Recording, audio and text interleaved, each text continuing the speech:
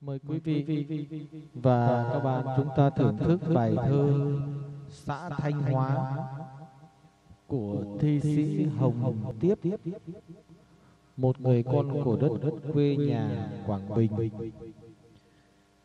Viết về xã Thanh Hóa, nơi một mảnh đất địa linh nhân kiệt, nơi một miền quê nghèo, một xã miền núi vùng sâu vùng xa của tỉnh Thanh Hóa qua giọng ngâm của Quốc Gia Hiếu. Mời quý vị và các bạn chúng ta thưởng thức bài thơ.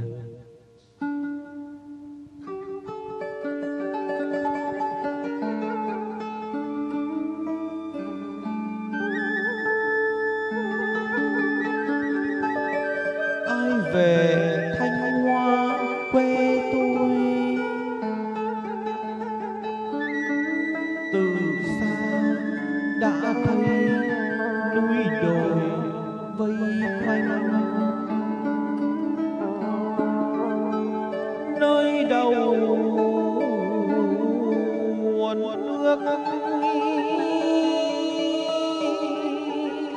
sông danh.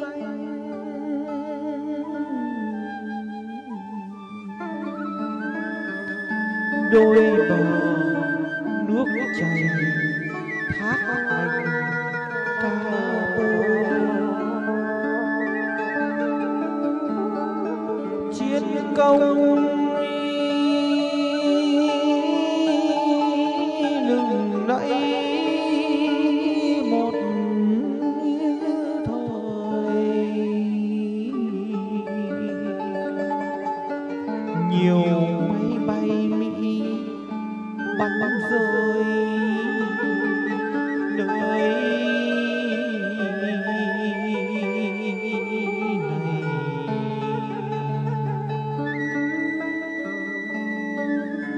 tinh thần. Chiến đấu hăng say. Đấu tranh gian khổ những ngày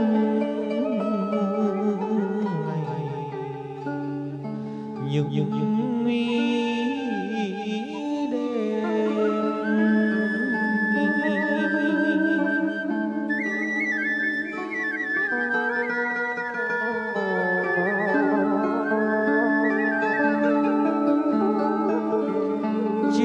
công lịch sử không quên.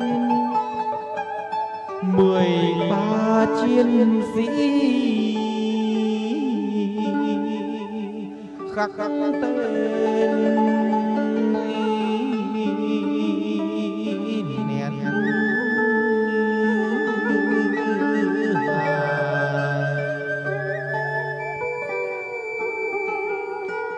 Để giờ đồng ruộng bao la.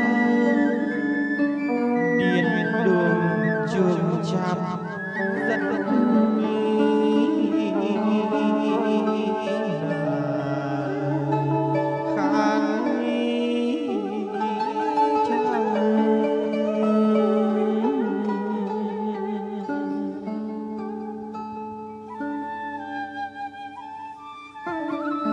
nhớ thời vất vả gian nan.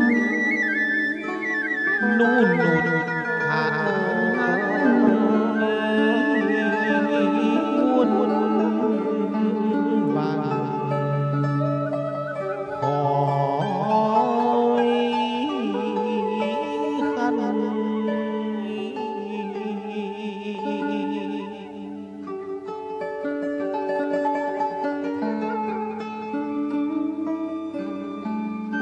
nhớ ngày cực khổ nhọc nhằn. Áo không đủ ấm, chăn không đủ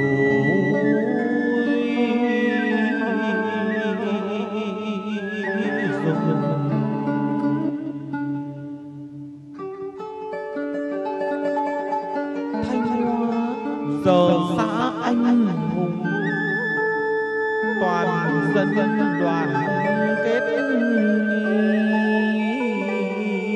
cùng chung. Một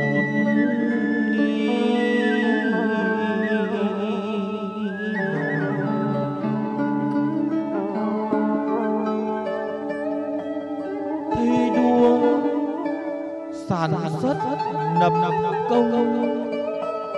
đẩy lùi tệ nạn từ trong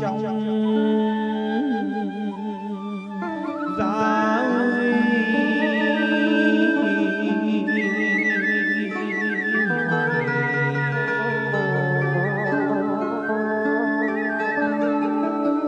làm theo lời bác chẳng sai.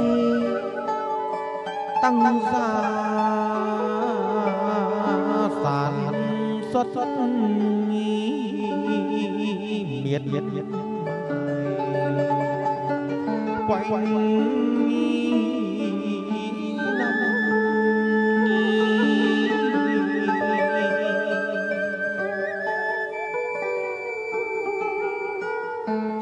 học sinh đến lớp học học chăm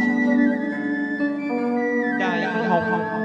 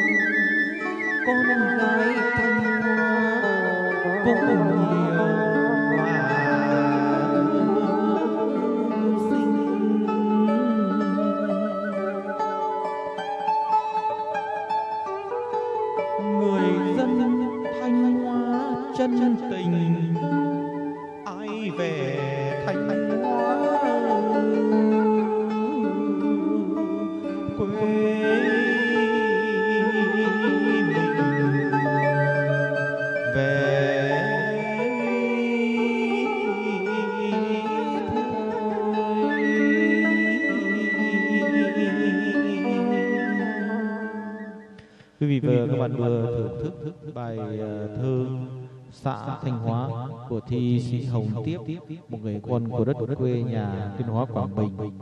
Qua giọng ngâm của Ưng Gia Hiếu, một người con của đất quê nhà Hồng Phong, Nam Sách, Hải Dương. Bài thơ mang đậm trữ tình về một miền quê của xã Thanh Hóa, một mảnh đất địa linh linh kiệt thanh bình êm ả, nơi in dấu những chiến tích năm xưa. Đây là một mảnh đất vùng sâu, vùng xa của một miền quê nghèo của ờ, tỉnh Quảng Bình, nơi thi sĩ Hồng Tiếp sinh sống và làm việc. Và qua ngòi bút của mình, thi sĩ đã viết nên cảnh chân tình của làng quê Việt Nam nói ờ, chung và mảnh đất địa linh linh kiệt Quảng Bình nói riêng qua giọng ngâm của Ưng Gia Hiếu, một người con của đất quê nhà Hồng Phong, Nam Sách, Hải Dương. Mời quý vị và các bạn.